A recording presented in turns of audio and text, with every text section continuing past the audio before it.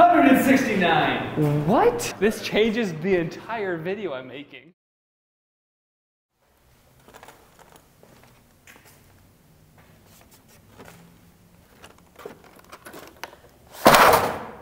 Trash or treasure? I wish you could see me. First try.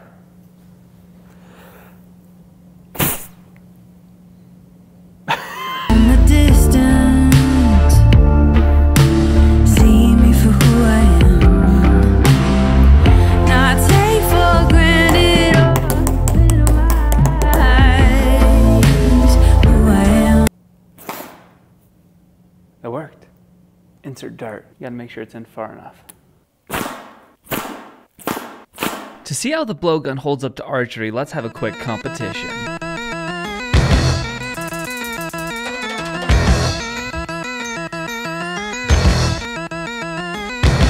But before the competition, this is what you need to know about blowguns. I've taken a couple shots so far, and what I found out is it goes pretty much straight down the barrel, but I was only at about three yards. So we're backing it up here to closer to 10. The interesting thing about this is it's literally the power of your lungs. Hi, this is Zach. Kaz. Caleb with Shatterproof Archery. This is how you shoot a blowgun So you want to take your dart, Insert it just a little way past the mouth guard. on the mouth side. which is this in, not this in, right? Click it in, let it fall back to where the mouthpiece is. But don't stick it in like this, because if you do, it's going to fall right through. Make sure it comes back. Oh yeah, You're gonna take a deep breath from the diaphragm. this lower part of your body. You're gonna hold it after you breathe in, Make it really big. And then let it out as fast as you can. Aim and fire.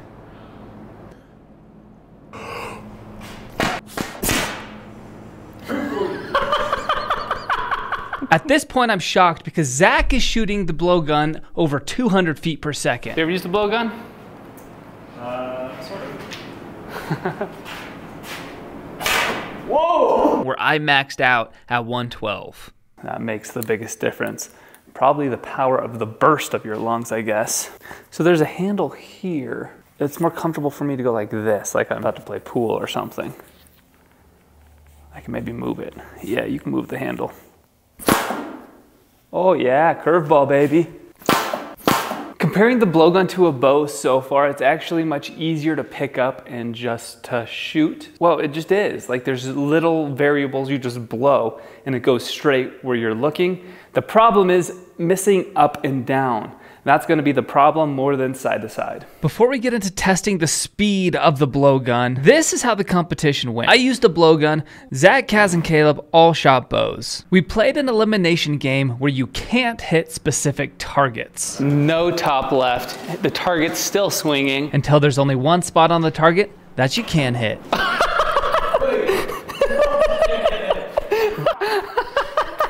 While we had a lot of fun, this game really is irrelevant for this video. It's true. Stuck in the wood. If you want to know the results, Kaz won. Caleb got second. Me and Zach tied for last place. Well, that sucks. I hate losing. But it's what happened right after that was shocking. Nice grouping. Let's see what Zach can beat. Okay, maybe I should go bow over Zach's blowgun. Holding back the breath and then releasing it quicker. Hmm. So like, you don't makes want slow volume, you want fast volume. So one of the big questions I have is how fast is this going? And how durable is this blowgun? Let's shoot this through the chronograph and see. I'd like to remind you that this is not a toy, and in some cases, could be deadly. I mean, depends on what you're doing. Small game hunting? That can be fun. I heard a guy killed a bear with one. It comes in two 32 inch parts. There's a lot of threads to screw it together, equaling a total of 51 inches. It's got this infinite screwing capability. The nice thing about that is it allows you to adjust both handles so that they line up perfectly for you. The quiver is adjustable up and down as well as this handle. The darts come in a long and a small size. The small size just have a pointy point where the long sides have sharpened edges on both sides, more like broadheads. The darts come unassembled, so you need to put them together. Insert dart, fix eyes on target.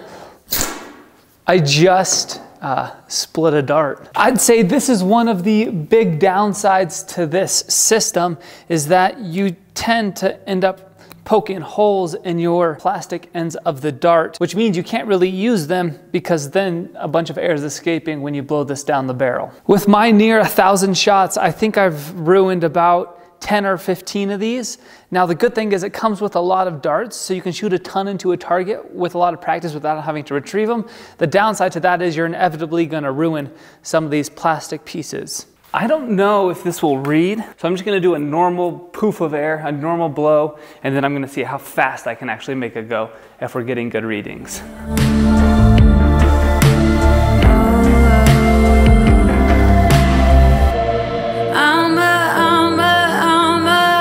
Trying to figure out why my darts are going so slow. Oh, I tried to pick up the speed and we got a 101. 169. What? 88. Holy cow. 160. 93. 220. Cow. Dumb. What? 113.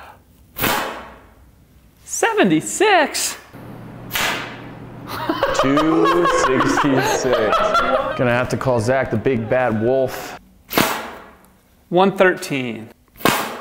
104. This is the cold steel blowgun. And if I had to make a decision today, I would say this is. So like, I'm you- focusing way too much on accuracy, which probably hinders the accuracy because I'm like, "Mee." I mean, I end up I end up looking like a pregnant woman before I start. he's totally getting it. Yeah. Did you used to play like the trumpet or something? Uh, I played oboe for seven years, There you go. instrument, and I have done professional singing before. Really? 142. Hey, getting better. So like, That you don't want slow volume, you fast volume. But slow volume's easier to aim. Nope. I know technique matters the most when it comes to how you're shooting this, how you're blowing air in order to project the dart. But the technique I don't have. I'm taking Zach's advice in order to see how fast I can shoot this. Because originally I thought it would be better to take it easy and to make sure the aim's good and do a nice slow breath. But what Zach's proven to me is a quick, punchy, all the volume of breath you can do at one split second is better than a slow breath because even the amount of jerk you might have is less than you're going to have in the arc of a slow dart. So is Zach shooting at twice the speed of me? His dart is flat, where mine is arcing so much I'm having to aim way, way above the target. So I got to improve my speed because it's like I'm shooting a five pound bow and Zach is shooting a 60 pound bow. That's how much difference our trajectories are. Let's see if this can be learned. Let's see if I can learn going from 110 feet per second to who knows what. Now I need to practice. So I'm gonna do deep breath. I need to commit. I notice I've got air escaping on the sides here. And all at once, no breath can escape.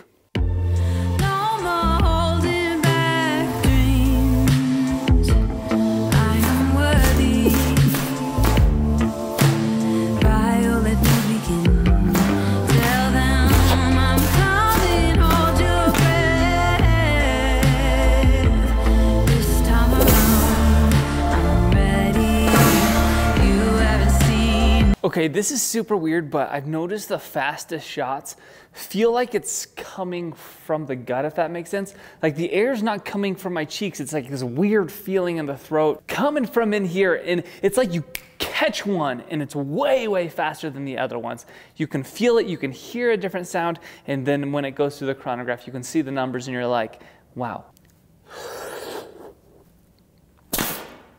Oh, 139. It's like taking a quick break helps to regain your breath. It's technique more than like the like the pressure, yes, but it's like how it goes through the tube instead of like how painful it is for you.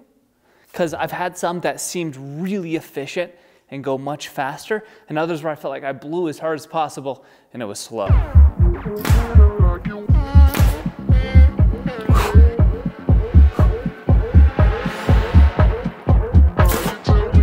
194. The technique, dude. Guys, the technique. What are the chances I could do that again?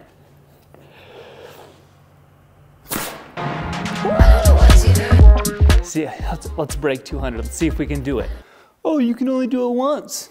Watch me. That's the voice in my head, by the way.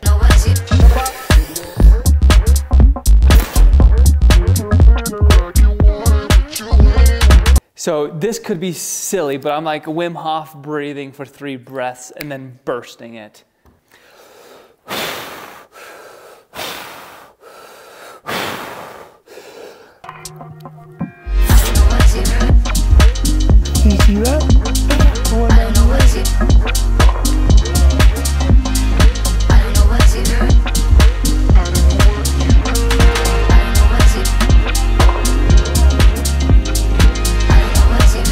This dart has a crack in the plastic. Let's see how it flies.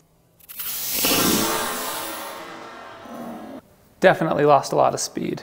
Zach got up to 166 feet per second. I got to 137 feet per second. These things can go fast. I want to say thanks to James for sending this to me. He said I would have a lot of fun with it, and you are right. Also, no affiliation with this company at all. If I ever am affiliated, I tell you guys.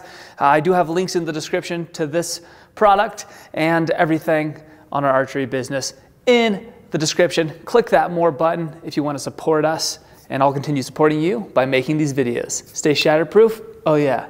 Treasure, treasure, treasure.